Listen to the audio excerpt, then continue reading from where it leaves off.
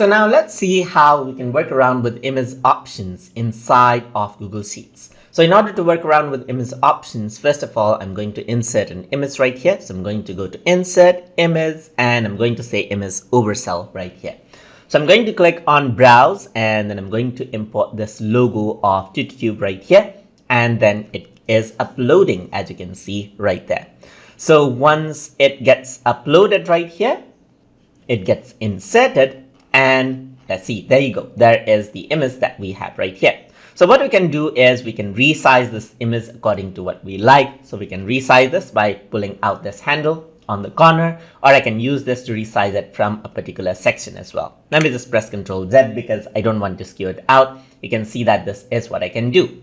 So another thing that you can do is you can click on this three dot icon right here, and you can also replace the image. So let's say, for example, I want to replace this. I can click on replace image, and then I can go to browse right here and let's say I want to replace it with another image right here. Let's say, for example, this one, then I can simply press open and the image gets uploaded right there. And that image that you see right there will, will be replaced out. And there you go. There is the new image that we have right here.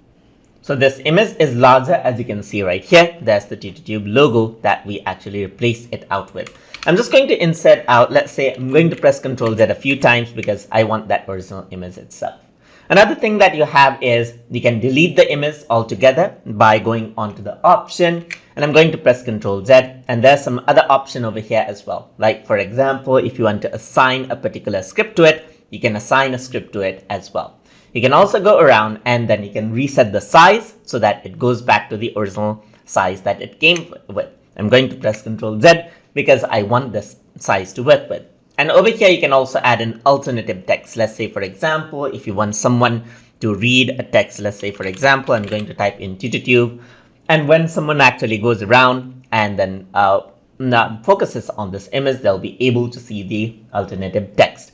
And you can also put the image in a selected uh, cell. So if you don't want this hovering around, but if you want to keep it somewhere like this, the cell is selected. So you can go around over here put the image in selected cell and it is right here. And there you go. There is the image right there in the cell. You can cut and paste it anywhere else and so forth as well.